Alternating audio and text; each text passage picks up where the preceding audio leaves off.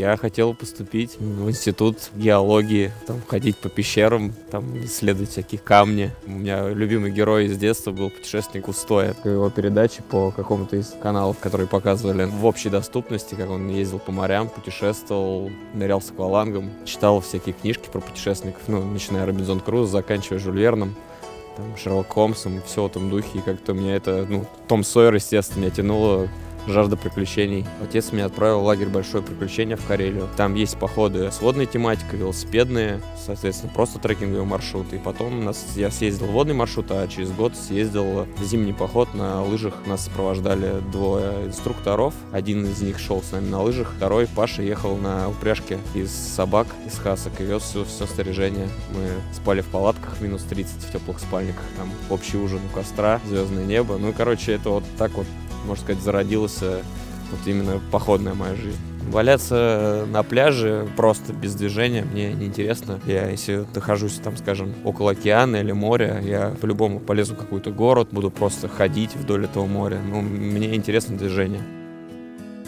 Чем я больше путешествую по России, тем мне больше кажется, что я нигде не был в ней. Но я не закрыл шесть, наверное, регионов России. Чукотку, Камчатку, потом Архангельскую область, Республику Тыва, ну еще парочку. Вот я там, может быть, То есть еще... тебе проще сказать, где ты не был в России, чем ну, где да, ты был? Да, наверное, наверное так. Но в России какое у тебя любимое место? Приморский край, Владивосток. Там совершенно особая климатическая, так скажем, зона, природные всякие достопримечательности. И там именно Тихий океан и морской климат. Ну, он неописуемо красивый. Я там был пять раз, и каждый раз открывал что-то новое. Дом мой, Снегирь, я их люблю, и мне всегда сюда тянет. Это однозначно будет моим местом навсегда. Я готов путешествовать, где-то остановиться, пожить какое-то время, но моя родина здесь. В 2007 году я поехал первый раз на футбольный выезд в Самару за футбольный московский «Спартак». С этого периода времени, с 2007 года, я посетил 110 выездных игр любимой команды. Также велопрогулки, велопутешествия, и мы с друзьями ездим в горы каждый сезон в какие-то страны кататься на горных лыжах. В том году вот были в Гималаях в Индии. На севере Индии есть такое место Кашмир. Это практически на границе с Пакистаном. Там прям граница, люди ходят с автоматами. Скажи, вот э, сколько получается в год э, раз ты путешествуешь? Э, Стараюсь уезжать раз в месяц куда-то. 12 раз в год? Не, ну смотря с моей хорошей работой, э, Вот. где меня, где меня, так скажем, ценят, меня на лето, э, можно сказать, отпускают в мои путешествия и реализовывать мои планы, то, что мне нравится, чтобы прогрессировать в этом и как бы как-то развиваться. Где ты работаешь? Компания Альп-Индустрия, я как бы снаряжаю людей в горы, помогаем людям выбрать то, что им нужно. Ты, получается, работаешь, а, какой-то период времени зарабатываешь на путешествие и едешь, или как? Именно. Я как бы откладываю, веду достаточно экономный образ жизни, именно когда нах- нахожусь э, в московском регионе. У меня достаточно активный вид жизни на выходные, но я денег особо не трачу, потому что я не зависаю в каких-то клубах в Москве там, и так далее. Не хожу там по ресторанам. Мне это как бы немножко неинтересно. Я как следил э, долгое время за тремя французами или четырьмя, которые делали кругосветку на велосипедах в течение трех лет. Вот они, у них был бюджет в день 5 долларов. Больше они тратить не могли. Поэтому можно просадить в день там и тысячу евро, но а нужно ли оно? Кто-то ищет оправдание, а кто-то ищет возможность. Все зависит от тебя. Кому-то нравится сидеть в офисе 5-2 и там с 9 до 6, даже когда работы нет. А кто-то выбирает там другую работу, где, да, может он не будет столько зарабатывать, там, брать там в ипотеку какие-то квартиры, машины, у него будет больше свободного времени, он будет больше жить. После школы я не мог определиться долгое время. Скажем, голова не стала на место. Родители посоветовали мне колледж автомобильного транспорта. Я пошел туда, закончил этот колледж. Колледж был при МАДИ, и после этого я, соответственно, перешел э, в МАДИ на заочку и получил э, ну, специальность инженер-механик. Я попробовал поработать э, по специальности, даже работал в такой фирме, как Volvo, но я как-то с детства не любил машины, просто это было не мое. У меня сложился очень сильный костяк, тандем а, из моих друзей, с кем я познакомился по, скажем, фанатской теме, там, по болельческой, когда мы с ребятами там футбол нас свел, и в частности Спартак Москва. Вот, и так получилось, что нам интересны путешествия, там, скажем, туризм, э, велосипед, и мы стали как бы вместе ездить даже на футбол, на выезда на велосипедах. Мы съездили там в Тулу, в Саранск, в Казань на великах, и все это потом переросло, что мы стали посещать там другие страны на тех же как бы, видов транспорта. Мы как бы ну, достаточно независимые ребята, но просто мы всегда рады помочь там, советам или где-то даже взять с собой людей, как бы, чтобы они, скажем, заразились этим и э, велотуризм, велопутешествия процветали. Потому что в нашей стране они все-таки не такие развитые, как той же Германии, там, не знаю, ну или Европе вообще, в принципе, в целом. Очень много стран в Европе, не очень много, но добрую часть там закрыл. Побывал в Монголии, Узбекистане, Таджикистане, Китае, Индии. Был когда-то там на Кубе, в Африке был, э, в Египте. И вот в Марокко у нас сейчас было автопутешествие с друзьями. Мы проехали всю страну до Сахары и через Атласские горы к Атлантическому океану. Сколько длилось это путешествие? Неделя. 2000 километров мы на машине проехали. Ну вот сейчас Исландия, Норвегия. По Прибалтике у нас тоже велотур был с другом.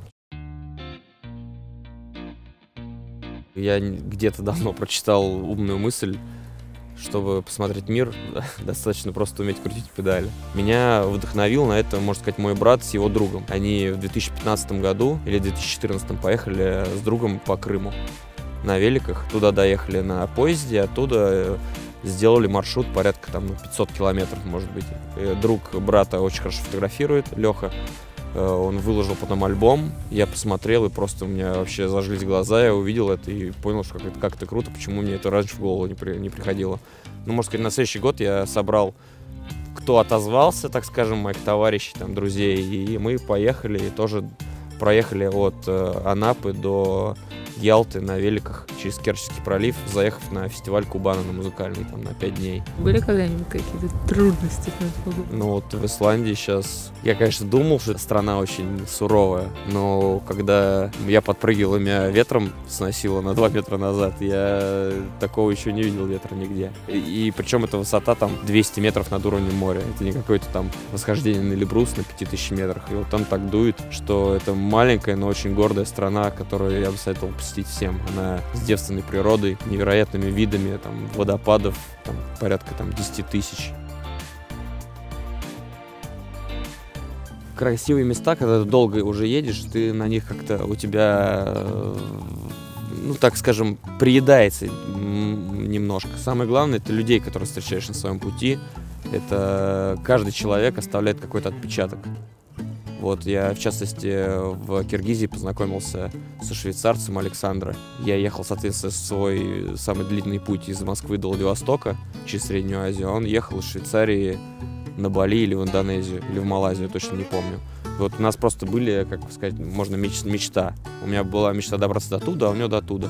Мы встретились с ним в хостеле, в котором останавливались все путешественники, в том числе очень много было велопутешественников. Город Ош. Этот швейцарец отлично говорил по-русски, потому что когда он выехал из Швейцарии, он понял, что будет ехать по русскоязычным странам, и все будут говорить на русском. И он каждый день занимался русским языком, и произвел мне такое впечатление, потому что я к своему стыду до сих пор практически там, не знаю английский, базовый какой-то есть там со школы. Сейчас мы с ним как бы периодически общаемся, он сейчас живет в Питере, и вот хотим с ним встретиться.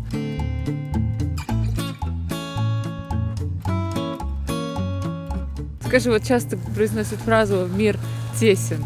Вот ты можешь это подтвердить как? Есть такой э, сайт, типа социальная сеть, сеть для путешественников, каучсерфинг. Там люди принимают, скажем, в гости путешественников. Друг у меня так по этому коучсерфингу остался в Тбилиси, и с ним на вписке был э, чилийский мотопутешественник. Прошел месяц, и они как раз вот тоже на Памире в Душанбе. Заходит он в квартиру и видит через месяц спустя этого мотопутешественника просто там в 10 тысяч километрах от того места, где они были в Грузии. Но э, случайность не случайно.